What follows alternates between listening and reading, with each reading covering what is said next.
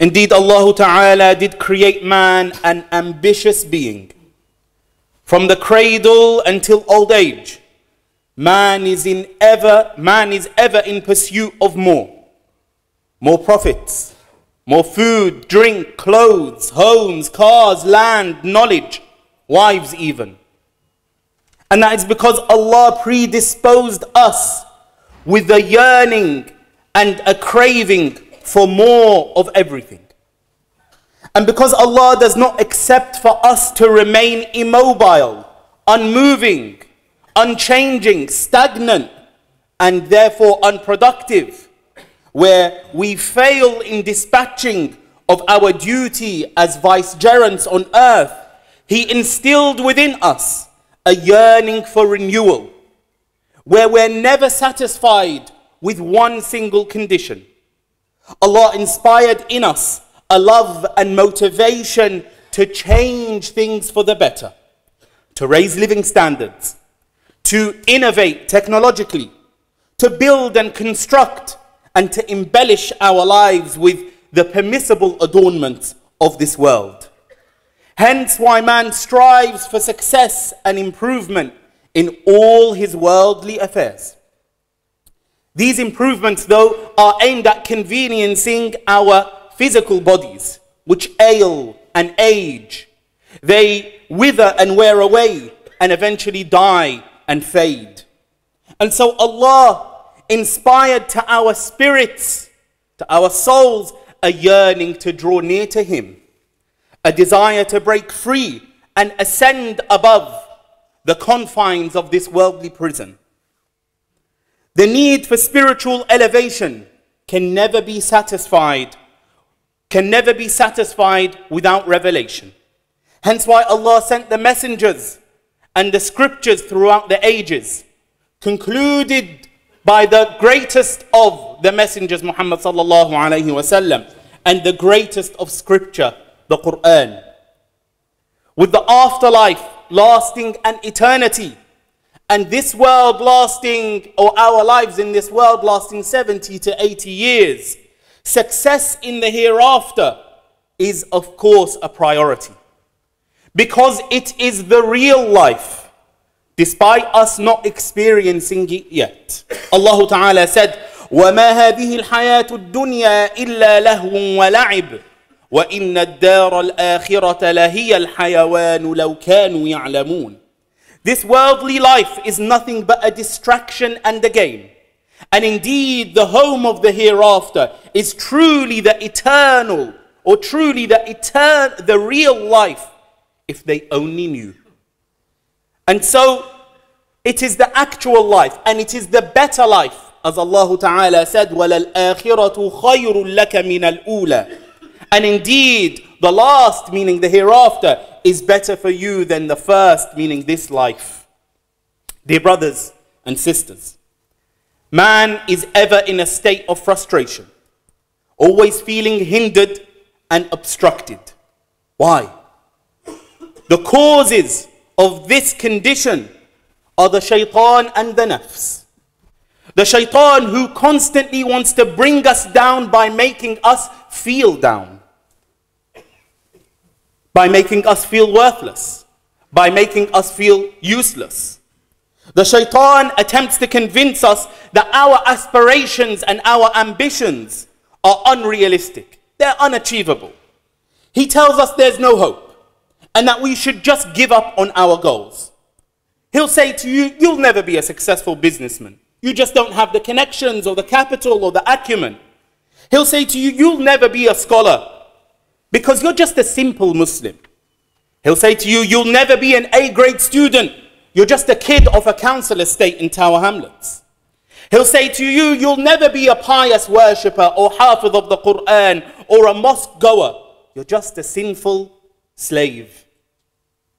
If he can't defeat you entirely, then he'll accept your failure to excel in this world in order for him to wait for another moment of weakness to bring you down again.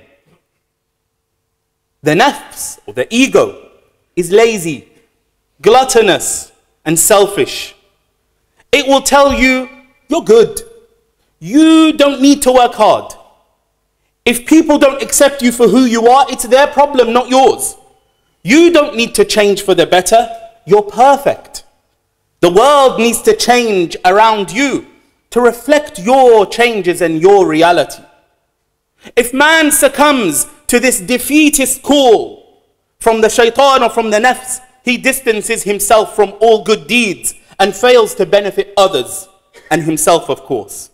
The nafs represents the internal enemy with a twisted and conceited and sadistic nature. And the shaitan represents the external enemy with nothing but ill will and hatred directed towards us. Both enemies must be resisted and combated.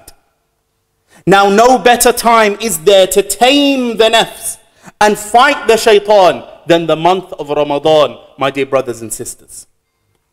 The sawm, the fast, weakens the nafs as it deprives it of its necessities, food and drink and intercourse. Thus, the spirit is more, becomes more alert.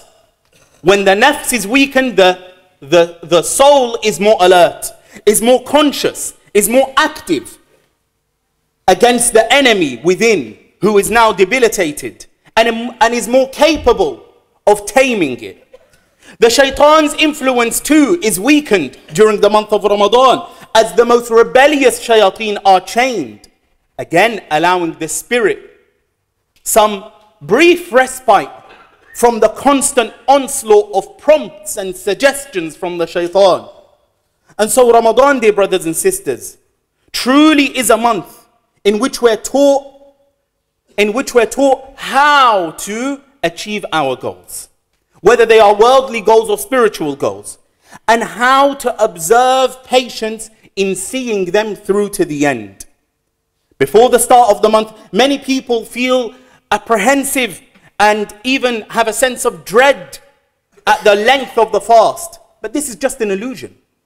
Because if we compare the last day of Ramadan to the first day, we would realize that all of that fear and anxiety of not being able to function while fasting was merely a deception from the shaitan to make you not realize your potential. Ramadan has always been a month of victory for the Prophet's ummah. Badr, or Hittin, or Ain Jalut, or Az-Zallaqa, Allah Ta'ala has distinguished this month with the honor of it being the month of victory, and for good reason. Both the command to fast and the command to, uh, to combat any aggressor these two commands were revealed to the Messenger sallallahu alaihi wasallam on the same year. Allah Ta'ala, He said, أذن للذين يقاتلون بأنهم ظلموا وإن الله على نصرهم لقدير Permission has been granted to those who are combated because they have been dealt with because they have been dealt with unjustly and most surely Allah is able to give them support. And he said, كتب عليكم الصيام كما كتب على الذين من قبلكم لعلكم تتقون. He said, and fasting has been prescribed upon you as it was prescribed on those before you in order that you may attain taqwa. These two commands were revealed on the same year, dear brothers and sisters. Now, the proximity of these two prescriptions is indicative of a deep and unfading connection between them, and it is patience, sabr. Fighting in a just cause, of course, uh, requires unwavering patience.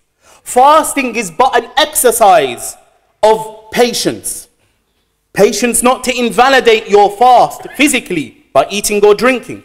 The patience to not spoil your reward of the fast by sinning, as the Messenger sallallahu alaihi he said, if anyone does not abandon falsehood and action in accordance with it, Allah has no need for him to abandon his food and his drink.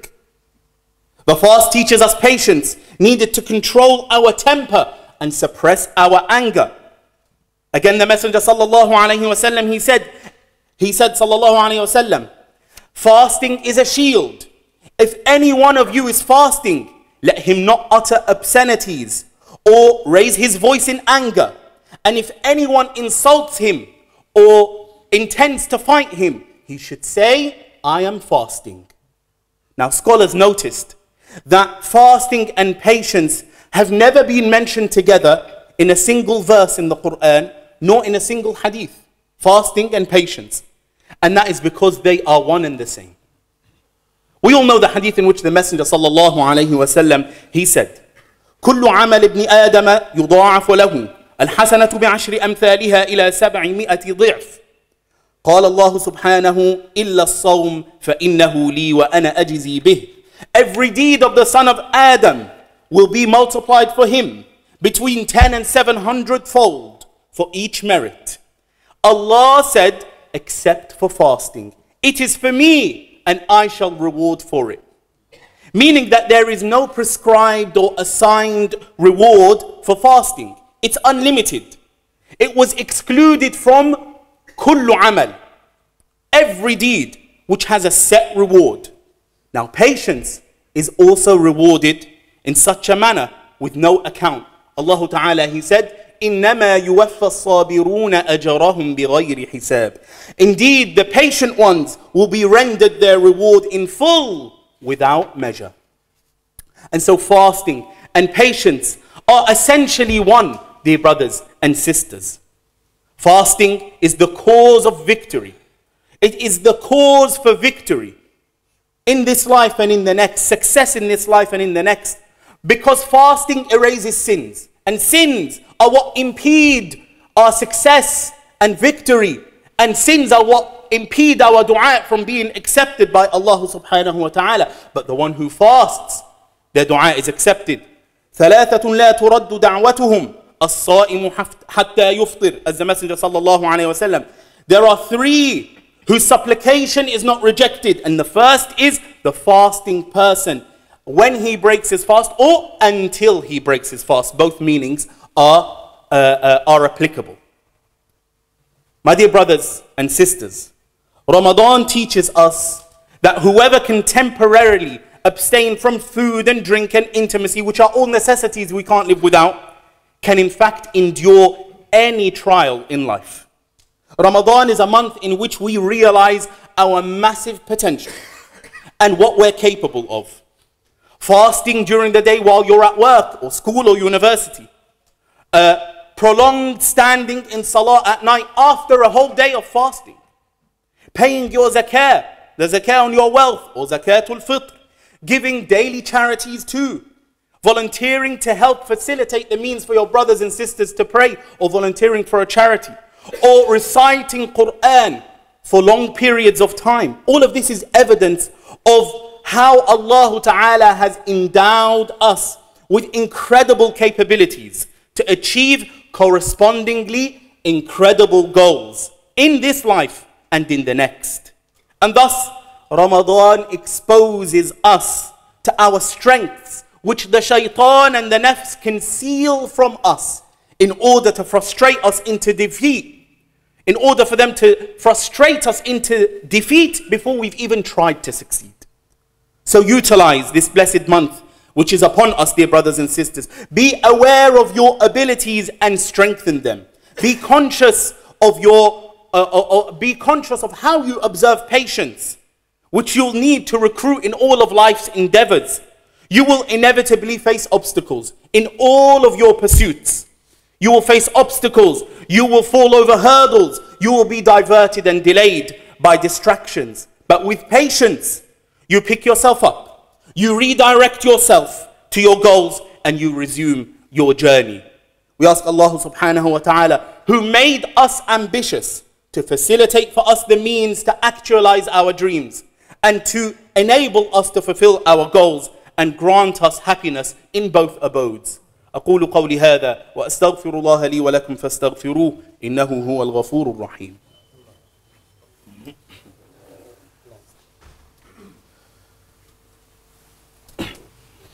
الحمد لله وكفى والصلاة والسلام على الحبيب المصطفى وبعد My dear brothers and sisters, from Allah subhanahu wa ta'ala's mercy is that He repeated the month of Ramadan for us annually. And that He made it a month not one day or 10 days. He brings it about every year for his servants to recalibrate their gauges, renew their faith, reaffirm their covenant with Him, cleanse their hearts, detoxify their bodies, reconnect with the Quran, and many other lofty objectives that are intended for the believer. The believer is ambitious, as we said, and the believer must aspire to improve their condition from how it previously was. The believer should aim to increase their profit margin, should aim to increase their knowledge, should aim to increase their worship. The believer can accomplish this during the month of Ramadan, where he receives divine aid and assistance. But what about after the month of Ramadan? Too many of us have overly ambitious goals limited to the holy month. Once the month is over, we return to our bad habits, which, they them, which were themselves the cause for our failures.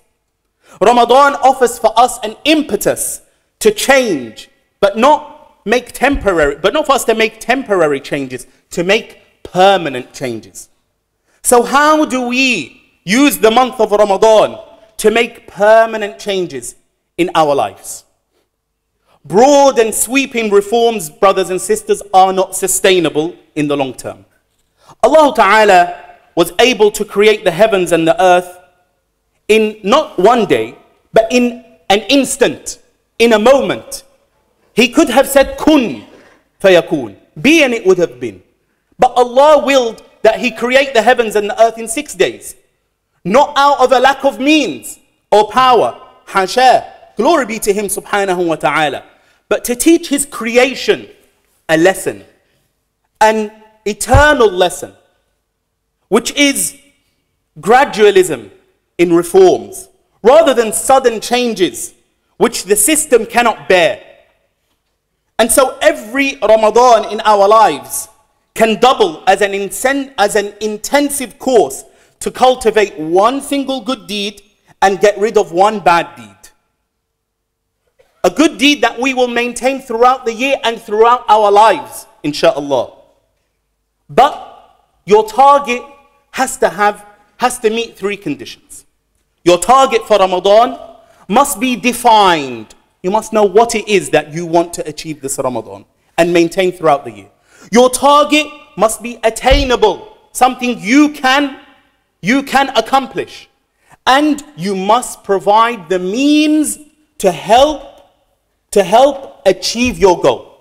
And of course, to seek Allah Ta'ala's aid and assistance to help you reach your objective. Once you know what it is that you want to achieve this Ramadan, you have to work for it. There is no other way. Dua alone is not sufficient.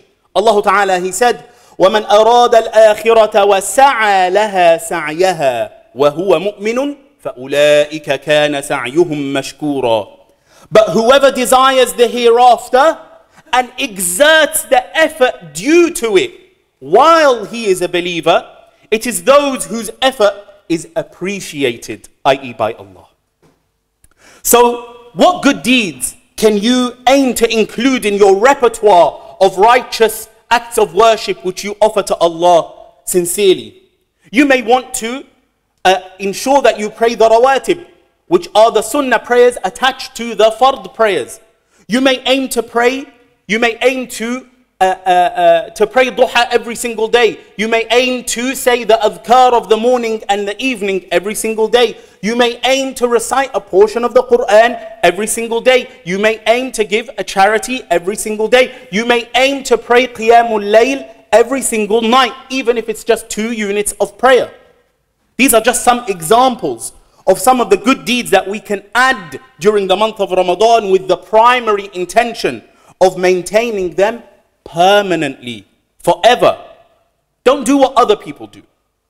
Do what works for you. Do what you can commit to. Don't take on too much because you will set yourself up for failure. And failure during or after Ramadan can have a devastating impact, which is what the shaitan wants. He wants to fill you with despair. Oh, there's no good in you. Ramadan didn't work and, and no month will work with you. And so take on what you can bear, what you can fulfill, what you can maintain. And to help you achieve these goals, you must know the significance of the good deed you want to cultivate in your life. and foster as a, as a, a, a, as a daily practice where it becomes habitual. You don't have to think, you do it habitually. You need to know the significance. If you don't know the significance of this good deed, then you will take it lightly, you'll belittle it. And so, take for example, praying the rawatib, praying 12 units of prayer during the night or the day. The Messenger wasallam he said, whoever persists in praying 12 rak'ahs each day and night will enter paradise. Allahu Akbar. Will enter paradise. It's that simple. Four before dhuhr and two after. Two rak'ahs after maghrib, two rak'ahs after isha, and two rak'ahs before fajr. What about praying in jama'ah? I want to start, I want to use this Ramadan to uh, foster the practice of praying jama'ah all of the time. All of the time, whether it's in the mosque or whether it's at home. I pray jama'ah. The Rasul he said the reward of the prayer offered by a person in congregation in jama'ah is 25 times greater than that of the prayer offered in one's house or in the market alone. What about charity or uh, being pleasant natured, keeping good family ties? praying some prayers at night. The Rasul sallallahu alayhi wasallam, when he entered Medina, one of the first things he said, as Abdullah ibn Salam narrated, he said, Ya ayyuhan nas, أفشوا السلام وأطعموا الطعام وصلوا بالليل والناس نيام تدخلوا وصلوا الأرحام وصلوا بالليل والناس نيام تدخلوا الجنة بسلام He said, O people, spread the greeting of peace, salam. Feed others, maintain family ties, and pray during the night when the people sleep, what will be the result? You will enter paradise with peace. Praying duha, for example, most of us are working during, during uh, duha. And so it's a neglected sunnah, but just two units. The Rasul sallallahu alayhi wasallam, he said, in the morning, charity is due from every bone in the body and every one of you. Every utterance of Allah's glorification is an act of charity. To say subhanallah is an act of charity. To say uh, uh, uh, uh, to the, the, the shahada, to say la ilaha illallah is an act of charity. And to say Allahu Akbar is an act of charity. And enjoining good and forbidding evil are acts of charity. And two rak'ah, two units of prayer, which one prays in the forenoon will be sufficient. Two units that will cover the debt that you owe or the charity that you owe for every joint in your body and for every bone. And as for the recitation of the Quran, then there is no reward parallel to it. The Rasul sallallahu alayhi wasallam, he said, whoever recites, whoever recites a letter from Allah's book, then he receives the reward from it. The reward of 10, the like of it, multiplied by 10 automatically. I do not say that Alif Lam Mim is a letter, but Alif is a letter, Mim is a letter. Uh, alif is a letter, Lam is a letter, and Mim is a letter. And of course, the one who recites regularly will eventually become what? Will become fluent and proficient. And he said, the one who is proficient with the Quran will be with the noble and righteous scribes, the angels. And the one who reads it, okay, you struggle, you're not proficient in reciting Quran, the one who reads it and stumbles or stutters and finds it difficult will have double the reward. The reward for recitation and the reward for trying. But of course, I remind my dear brothers and sisters, you can't keep trying your whole life. You, you must apply yourself in order for you to become proficient at some point. What if you struggle to do any of these good deeds? Does it mean that you should give up? Does it mean that your Ramadan was a failure? No, of course it doesn't. Because what is prioritized over performing these deeds, which none of what we have mentioned is fard, is obligatory, by the way.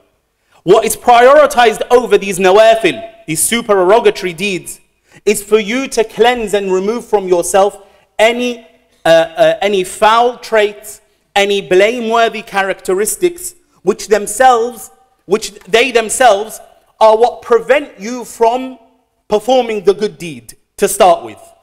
This, the, the, the salihin, the righteous of the past, used to say, At-takhliyatu qabla tahliyah. Takhliya is to empty, and tahliya is to beautify. Meaning, purification before beautification. No doubt all of these righteous deeds beautify the believer in the sight of his Lord and, and also in the sight of the believer's eyes. Yes? But the impurity within does not allow for these good deeds to coexist. And so we must rid ourselves of them because they are what are preventing us from excelling with Allah subhanahu wa ta'ala. And so this Ramadan, number one, you must work on eliminating your major sins. It may be that you have to lower, you have to start lowering your gaze. Or that you control your tongue. Or that you restore to people their rights.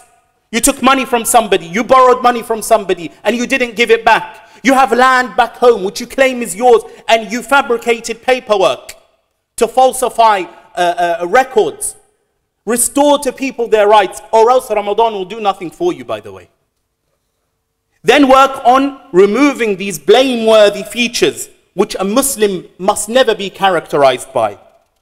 You may need to eat less, sleep less, spend less time with people.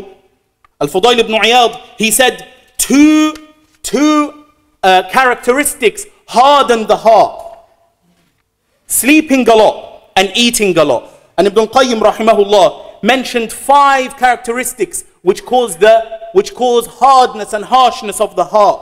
And they are spending too much time with people and having excessive hopes in people and being connected to those, being connected to anything or anyone other than Allah, and filling the stomach and sleeping too much.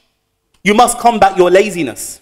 The Messenger wasallam would seek refuge every morning and, and every evening from al-ajzi wal-kasal, incapacity and laziness. Talk less. Umar radiallahu anh, he said, he who speaks much errs much and he who errs much has little modesty. And, who, and he who has little modesty sins much, and the one who sins much enters the hellfire. And we seek refuge in Allah from that. You may need to laugh less. It doesn't mean that you live a miserable life. It just means that you should apply some more seriousness. Laugh less. The Messenger sallallahu alayhi wa sallam, he said, لا تكثر الضحك. He didn't say لا تضحكوا, don't laugh. He said لا تكثر الضحك. Do not laugh excessively. Don't laugh a lot. فإن كثرة الضحك تميت القلب. For, for excessive laughter kills the heart. Play less, watch less TV, and get off social media more often. Dear brothers and sisters, beware of the ploys of the shaitan who will tell you, is that it? That's all you want to do this Ramadan? This is a trap. He attempts to deceive the believer by making the believer belittle the good deed, belittle the good deed. This Ramadan, I'm going to start by, I don't read Quran at all during the year. So this Ramadan, I'm going to read a page of Quran every day, and that's what I want to stick to the, for the rest of the year. Shaitan will come and say to you, just one page. Is that it? Hey, you're supposed to finish the Quran in Ramadan, do, do a juz. Yes? That is a trap, dear brothers and sisters. Because he wants you to fail. And when you fail, you despair. And when you despair, you never attempt again. And the Rasul sallallahu alayhi wa sallam, he said to Abu Dhar, لا تحقرن من المعروف شيئا ولو أن تلقى أخاك بوجه طلق. He said to Abu Dhar, do not belittle any good things. Don't belittle any good deed. Even if it is that you meet your brother with a cheerful countenance, with a cheerful face. And so if all you can improve this Ramadan is your smile, then that is an accomplishment that you have attained. We ask Allah subhanahu wa ta'ala to extend our lives to witness the month of Ramadan. Nobody knows if they will live for the next week or not. And we ask Him subhanahu wa ta'ala to accept our fast and to accept our prayer and the recitation of Quran and our charities.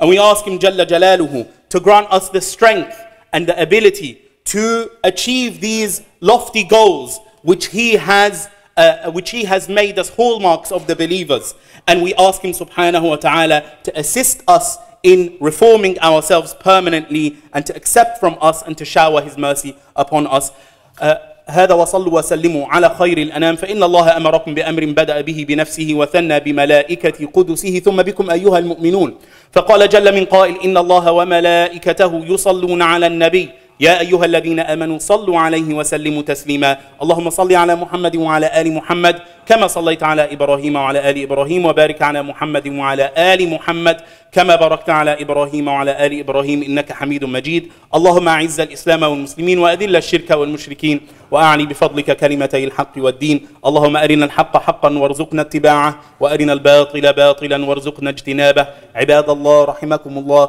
إن الله يأمر بالعدل والإحسان وإيتاء ذي القربى وينهى عن الفحشاء والمنكر والبغي يعظكم لعلكم تذكرون وأقم الصلاة.